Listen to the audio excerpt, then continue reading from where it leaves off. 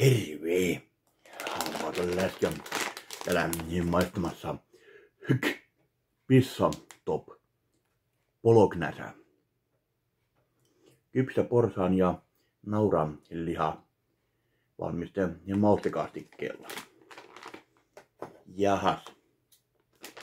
No, sehän pitää testata. Täällä on maustesoosikin pistetty. No, kokeillaanpa sieltä ottaa ensiksi ilman maustesoosia.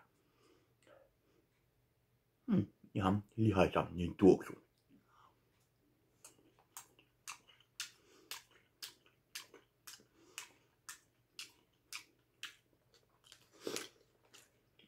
Joo, täällä on kyllä myös sitten orekäänöä laitettu sekaan. Hyvin pissamainen maku. Plörätäpä nämä mausteet niin soosit sinne.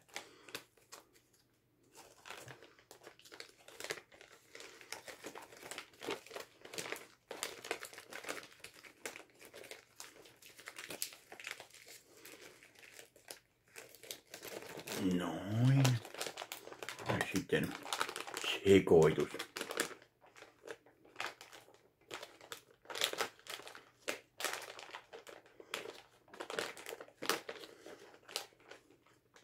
No niin, maistit hampas.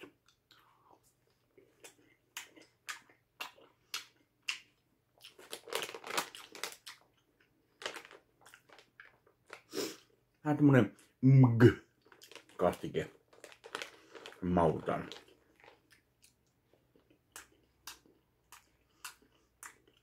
Mm. Ihan hyvä tämmönen pissamainen välipala, eikä tarvitse itse pissaa tehdäkään. Saa suuhun miellyttävän pissan maun.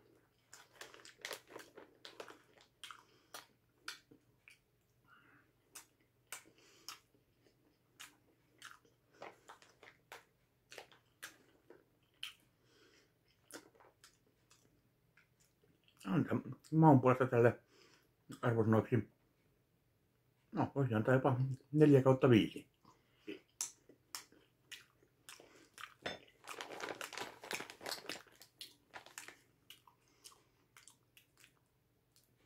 Tätä ruokaa ei olisi liian hervellistä. Otetaan vähän punaista maitoa.